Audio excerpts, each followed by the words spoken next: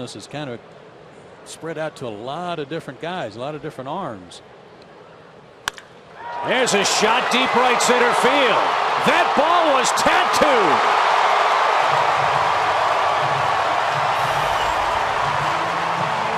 Pee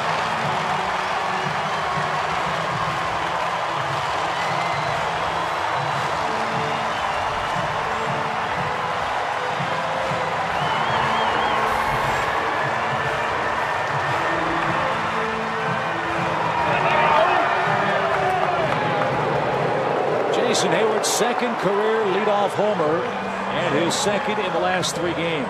That ball was smoke. You just can't hit one. You can't square one up any better than that.